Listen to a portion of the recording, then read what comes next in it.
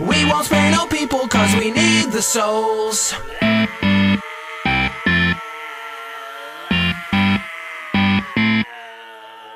This is an open invitation.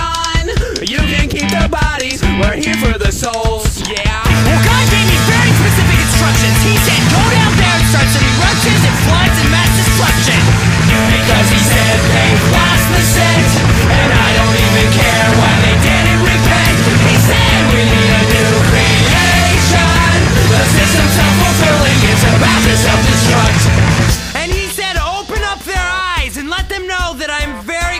Them now. And I've always known that it would come to this and that they finally have something very real to fear because I am very.